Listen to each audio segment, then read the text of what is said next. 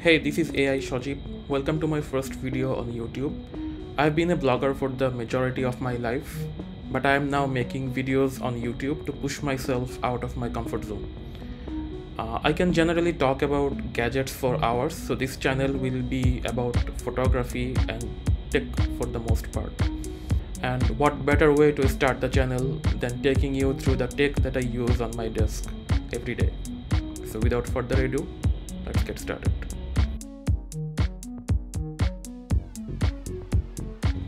The best place to start is the work desk, which you can see behind me. This is a motorized desk from a local shop here in Dhaka called 99 Grit. If you have watched enough videos on YouTube, chances are you know how they work. Simple up and down buttons to raise or lower the desk with some presets built in. I work from home. I've been working from home for the last 7 plus years, so ergonomics are pretty important to me. Sitting down in front of a computer all day isn't good for your body. So I opted for this motorized desk so that I can stand up and work when I don't feel like sitting down all day. Motorized desks aren't plentiful in Dhaka, so it was pretty expensive, but I think any expense is worth it if it's going to help your health. On top of the desk is a 16 inch MacBook Pro with M1 Pro. This is one step above the base model with 1TB of storage. The base model only has 512 gigs. I got it recently and I've been in love with it. As anyone in the Mac world will tell you, Apple changed the game with its M1 processor. And the M1 Pro takes that even further. I have used this MacBook Pro to batch edit huge raw photos on Lightroom. I have also edited 4K videos on Final Cut Pro and DaVinci Resolve it just powers through them like it's idling. I have a high-end Windows gaming laptop, the Asus Zephyrus G15 with Ryzen 9 processor and RTX 3070 laptop GPU. I captured gameplay videos on the laptop and edited them using DaVinci Resolve on both the Windows laptop and the MacBook Pro. The Windows ran dangerously hot and loud while the MacBook Pro didn't even make any sound. I don't want to turn this into a Mac versus Windows um, debate because they both have their places and that's why I have them both. But the point is, these M1 and M1 Pro chips are ridiculously good. And if you're on the fence about buying one of these, don't think, just go for it because it can take pretty much anything you throw at it, except maybe gaming. For the monitor, I am using a 32 inch 4K LG monitor. This one's called the LG Ergo because it comes with a table mount instead of a stand. The benefit of that mount is that you can adjust the monitor around with ease. It also takes up significantly less desk space since the actual contact point at the table is all the way at the back. I have a second 27 inch 4K monitor also from LG, but it's not an Ergo model. I bought that first and then I upgraded to the 32 inch. I still use the 27 inch monitor from time to time, like right now, that monitor is on the right side. Uh, you can probably see the reflection of the monitor on my glasses. The cool thing about these monitors is that they support USB-C. This means I don't have to connect my peripherals to the Mac.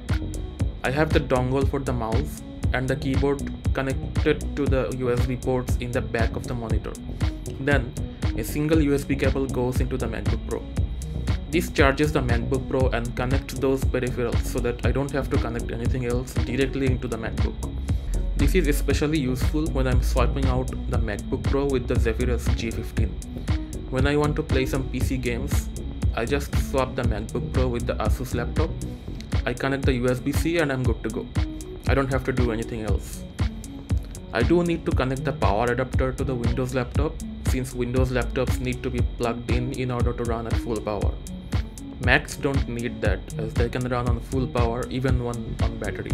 As you can see, being able to connect a single cable and have everything connected to the Mac is of great advantage to me. You might have noticed this custom mechanical keyboard that I'm rocking on my desk. It's a Keychron K6 with Gateron Yellows inside. I got into mechanical keyboard during the pandemic in 2020. I've experimented with quite a few different switches and keyboards at one point, I had seven different keyboards with different keycaps and switches underneath. But I pretty much lost all interest in experimenting any further after I stumbled upon the Gateron Yellows. They are extremely smooth linear switches that make beautiful sound when typing.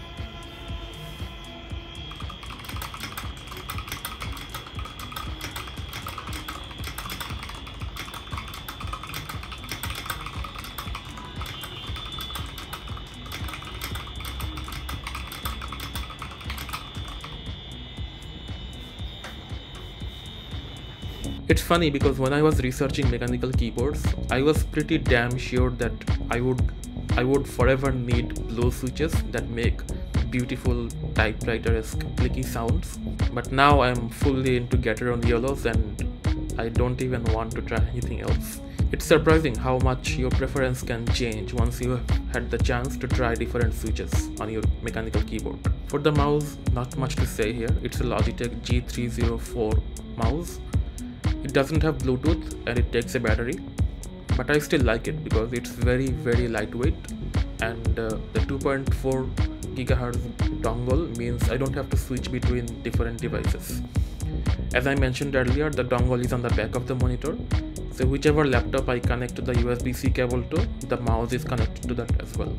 Now you couldn't have been watching this video without noticing these two these two beautiful uh, light sources. They are Philips Hue Play lights and I love them. In fact, my room lights are also from Philips Hue. So I can control the lights from any of my phones, Android or iPhone and any of my Macs. The great thing about accessories that work with Apple HomeKit is that you, you add them once to your iPhone and they are controllable from all of your Apple devices. So your iPhone, iPad, Mac, Apple TV, everything can control those Apple HomeKit supported accessories. So if I'm on my living room with the Mac and my mom wants to enter the room when the lights are off, she can turn them on since the physical switch is always on. I don't have to reach for my phone. I can open the home app on my Mac and simply turn on the lights. Similarly, if I have left the home and remembered that the TV is on, I can use any of my Apple devices to turn it off. This works because the TV is from LG which supports Apple HomeKit as well. The main reason I got the Hue Play is to have some sort of background light happening. When I'm working on my desk, I feel that sometimes it helps to keep a warm light going in the background. So they are always facing the wall and lighting it up to give me a backdrop uh, when I'm working. And when I'm watching a video on the monitor, uh, I can sync them with the Hue, Hue Play with their sync app on the Mac the lights will change color depending on what is being shown on the monitor. So here is what it looks like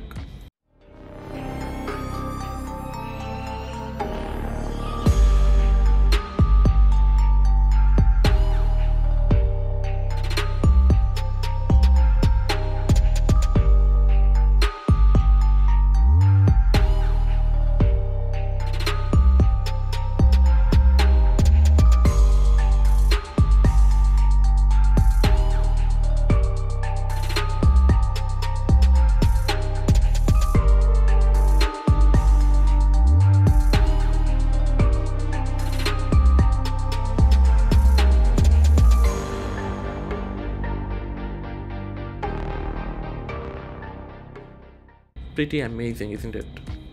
Besides those two Hue play lights, you'll see a pair of HomePod minis. I bought them because I was lazy.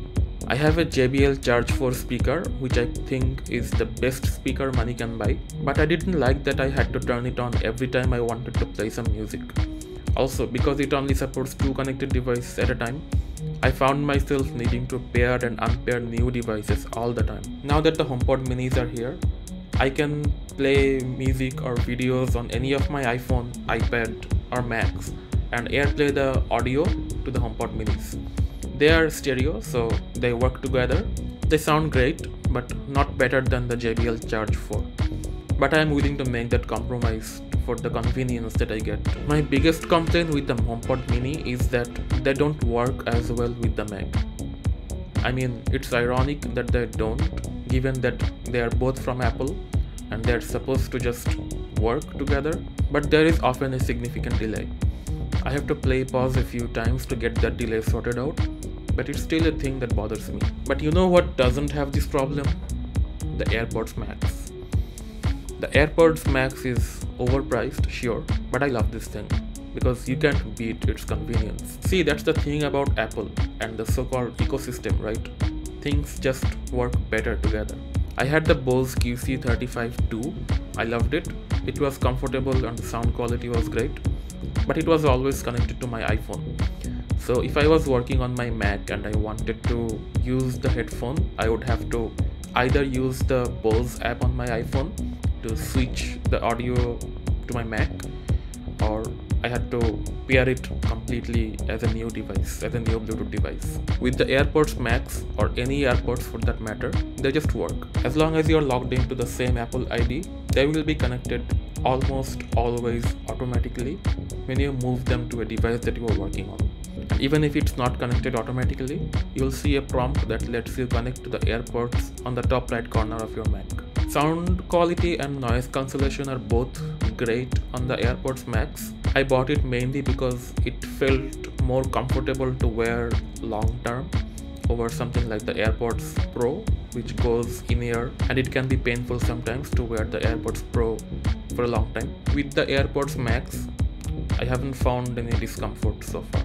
The last thing on the desk, if you don't count this fake plant that came with this expensive motorized desk, is this microphone. It's a fairly cheap Chinese microphone that I bought because I wanted to make tutorials and I didn't want to hold anything. It's on a stand, so it works hands-free. But the new Macs have studio quality microphone, so I don't even use that anymore. It's mostly just sitting there, or I should say standing there. The audio on this entire video that you're hearing is recorded on the built-in microphone on the 16-inch MacBook Pro. Do they sound professional? Maybe not. But would it work for someone just starting out like me? Absolutely. There are a couple of things that aren't always on the desk, but I use them, so I thought I would mention them as well. The first thing is the Epson printer. It's an ink tank color printer that I use for printing documents and photos.